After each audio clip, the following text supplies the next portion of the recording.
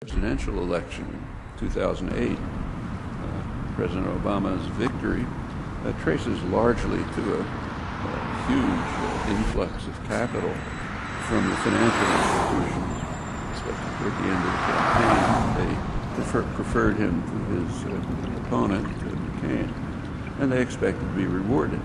And of course they were. The country at that time was mired in a deep recession uh, so Obama's first act was to select an economic team. It was drawn almost entirely from those who caused the severe economic crisis that he inherited. He systematically avoided uh, critics of their practices, including prestigious ones, Nobel laureates. Uh, actually, the business press uh, wrote rather ironically about this. Uh, Bloomberg News review of Obama's economic team, went through each one of them, uh, looked at their records, and said, concluded that uh, these people shouldn't be uh, on the economic team to fix up the economy. They should be getting subpoenas, which was pretty correct. They didn't, of course. Well, not surprisingly, the team chose measures which rewarded the major culprits who are now uh, richer and more powerful than before and uh, poised to lead the way to the next and uh, probably more severe financial crisis. There was recently an interesting article about this by uh, the special inspector of the bailout programs, Neil Barofsky. He wrote a bitter condemnation of the way it was executed. Uh, he points out that the legislative act that authorized the bailout was a bargain. Uh, the financial institutions that were responsible for the crisis uh, would be saved by the taxpayer, and the victims of their misdeeds, real crimes, the victims would be somewhat compensated by measures to protect uh, home values and preserve uh,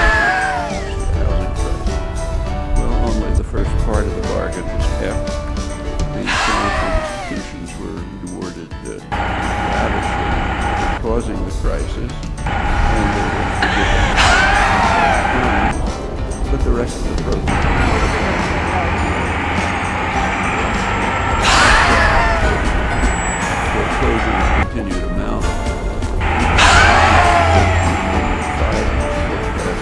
program's lifetime. While the biggest banks are 20% larger than they were before the crisis and control a larger part of the economy than ever, they reasonably assume that the government will rescue them again if necessary. Indeed, credit rating agencies, uh, credit rating uh, agencies incorporate future gov- uh, government market uh, bailouts into their assessments of the largest bank. That means exaggerating market distortions that provide them with an unfair advantage uh, over smaller institutions which continue to struggle.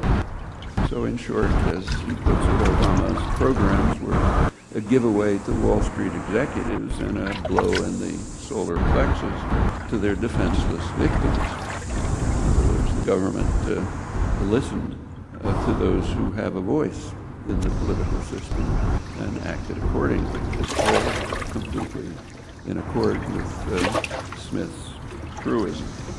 Well, there should be no surprises here. There are uh, careful studies of Senate votes over a long period, and they show that the Senate is indeed responsive to a sector of the population, the top third income. Actually, a closer analysis would show that it's a very small fraction of that uh, top third. In contrast, there's no correlation at all between Senate votes and opinions of the middle third. And for the bottom third, there is a correlation. It's negative. Uh, Senate votes are counter preferences for the bottom third. And on major issues of foreign and domestic policy, there's quite a sharp disconnect between public opinion and public policy uh, over a long period.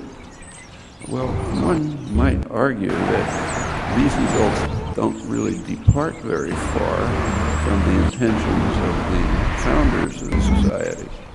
So James Madison, who was the main framer of the constitutional order, uh, he explained to the Constitutional Convention that uh, power should remain in the hands of the Senate.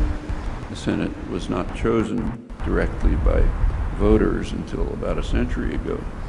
Uh, in those days, uh, the executive was pretty much an administrator, not an emperor. And the House, the third part of the system, which is closer to the public, had much more limited authority. And that's the way, in fact, it was set up. Uh, as Mott Madison explained to the Constitutional Convention, the Senate represents the wealth of the nation, the more capable set of men, men who have respect for property owners and their rights, and understand that government must protect the minority of the opulent against the majority. It's quite accurate. Something else that ought to be taught in elementary school. Uh, we should uh, bear in mind, however, in kind of in Madison's defense, that his mentality was pre-capitalist. So he assumed that a senator would be, as he put it, an enlightened statesman and benevolent philosopher.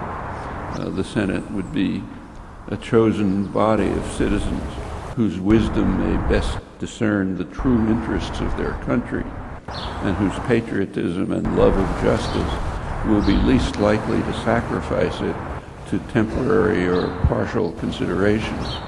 They would just, they would uh, therefore refine and enlarge the public view, guarding the public against the mischief of democratic majorities. So rather like the uh, noble uh, Roman gentleman, Adam Smith before him, well, it didn't take long for Madison to uh, shift his thinking about this. As he viewed the early results of the democratic experiment, he had second thoughts.